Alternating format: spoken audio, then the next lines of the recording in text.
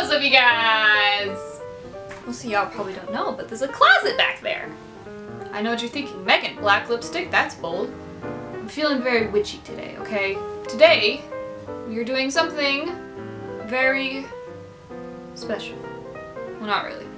Uh, we are cleaning all of my animals' cages today, which is going to be an adventure in and of itself.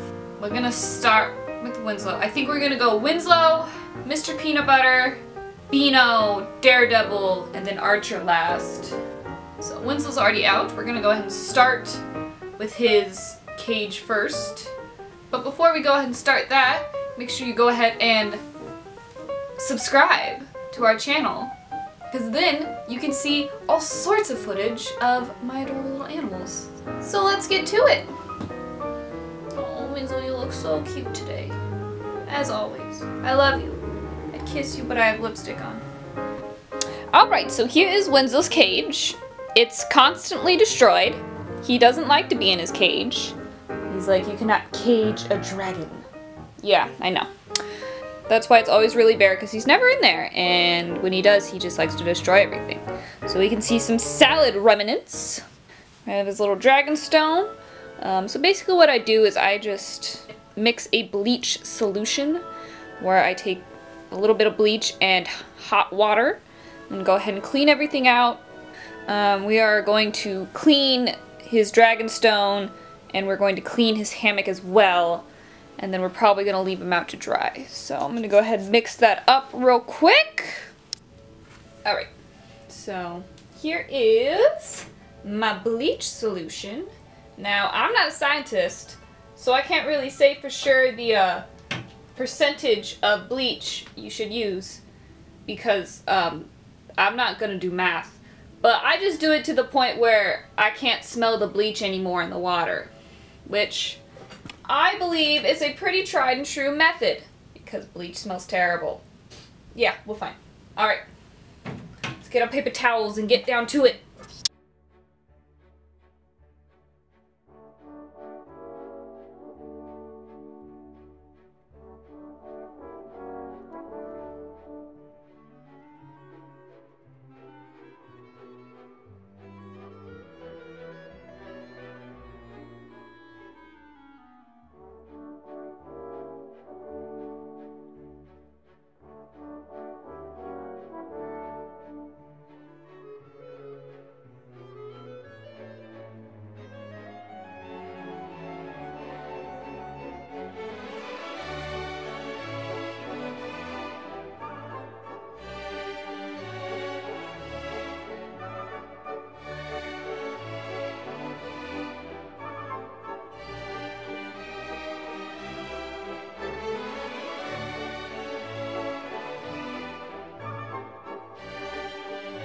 Alright, and in order to clean the little dragon stone, I'm actually just going to go ahead and use hot water.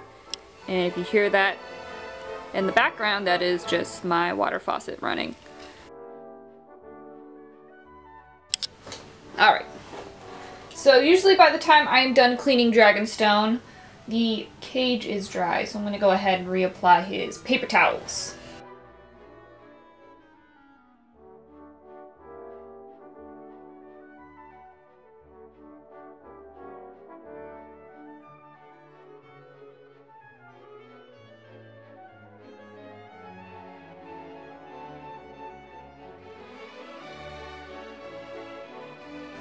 So we're gonna go ahead and actually change of plans.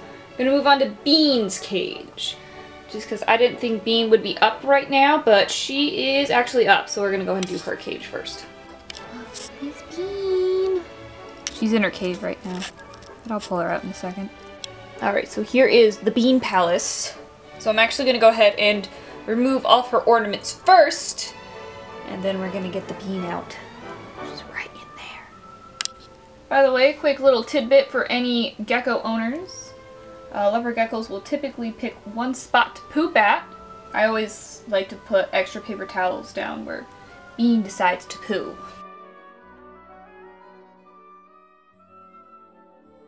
Alright, so here is where Bean's former pooping spot was. There's a paper towel under there. You can see the remnants of some urates that fell underneath the paper towel.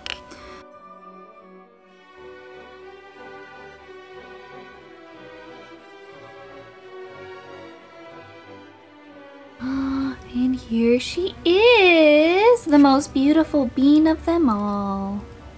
Yeah, she doesn't exactly like getting her cage cleaned. Come on, give me 10 minutes and then I'll put you back in your little introverted cave of introversy.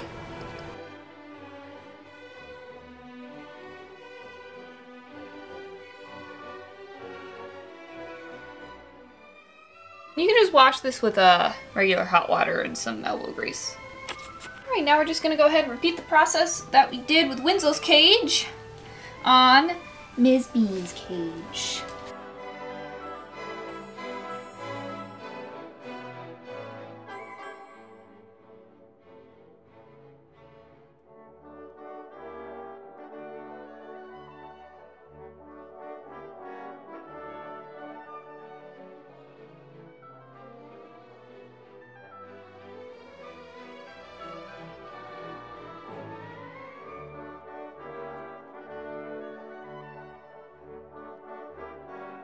And now we have Bean. Back where she wants to be. Oh, little lady, yeah? Yeah, you're back in the Bean Palace, Miss Bean. You're back in the Bean Palace. It's all fresh and clean. So beautiful. I love you, Bean. I love you. Alright, so this is literally the best angle I could get of Mr. Peanut Butter's cage. If I shot it on the other side, the glare would be like really bad. So, I do apologize if it seems a little strange. But we're gonna go ahead and do the same thing. Take the little one out. Hello. Hello, little one. Take the little one out. Strip the cage down. Clean it. Spritz it down. Dry it. Put him back in. Hello. He's so sweet. He's such a sweet little guy. So active. I didn't expect him to be so active. He's supervising. He does a very good job at it.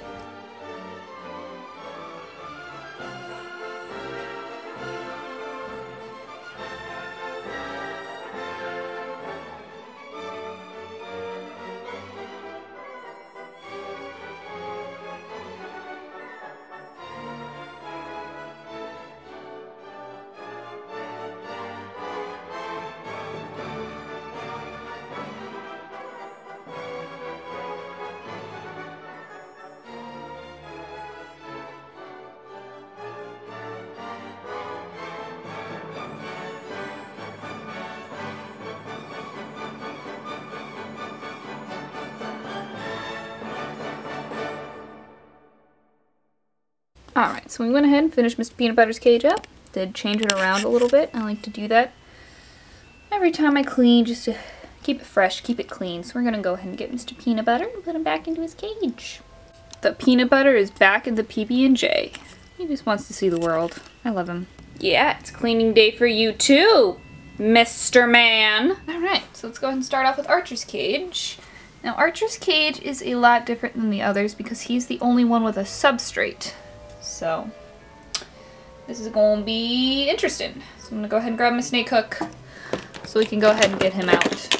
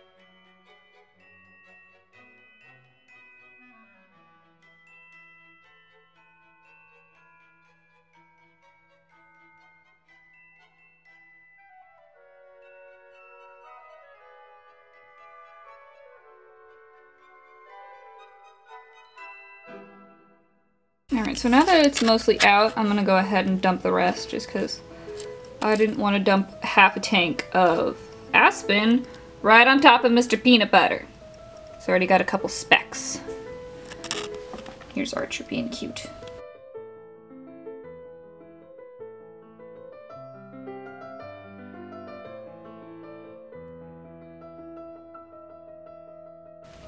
Archer's cage has sufficiently dried, so we're gonna go ahead and take our bag of aspen and fill it in. I usually use about half a bag.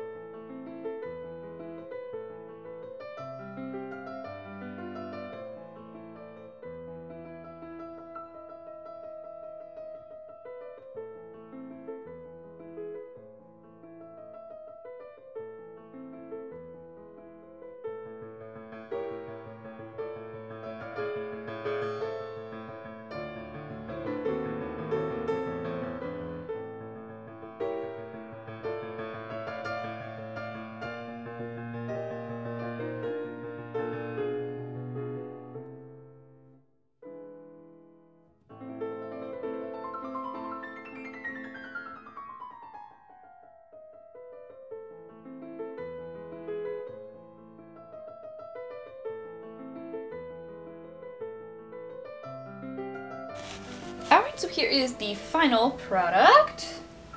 Uh, Alright, so now we're gonna go ahead and get Archer out of the little cage and put him in his regular cage.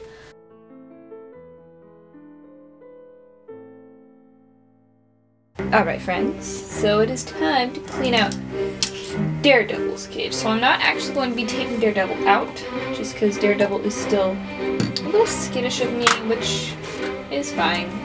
Doesn't want to be picked up, but does not mind my hand inside the cage, which is good. So I'm going to clean out that water bowl, I'm going to clean the log, and I'm going to take these wood chips out too. So this isn't going to be as much of a deep clean just because I don't want to stress Daredevil out, but still got still got clean stuff. Look how beautiful he slash she is. Ugh.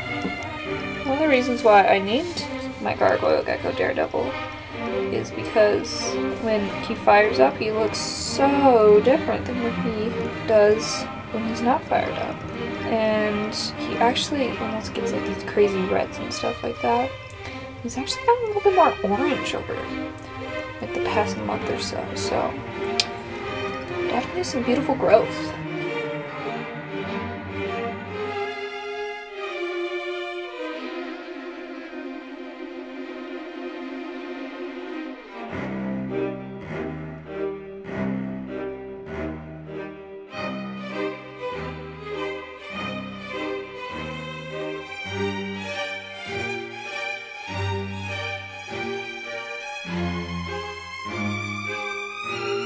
And now for your viewing pleasure, we will be bathing Winslow. Alright, so here is a prepared bath for Mr. Man. Oh, and here is the Reptisafe, by the way. Really good if you have hard water in your area and you need to bathe or give your lizards water. Would highly recommend. There we go. Yeah. Yeah, there we go. Good boy. Alright, you guys. Hope you enjoyed this week's video. Make sure to go ahead and if you're new here, subscribe. Comment down below, just say hi, or if you have any video requests, go ahead and leave them down there. Give this video a like so I know what you guys like. I want to put out stuff that you guys like. Now my reptiles cages are clean. My lizard is bathed. Two birds, one stone. Catch you guys on the flip side next Monday. And I love you guys. Thank you so much for watching. Bye!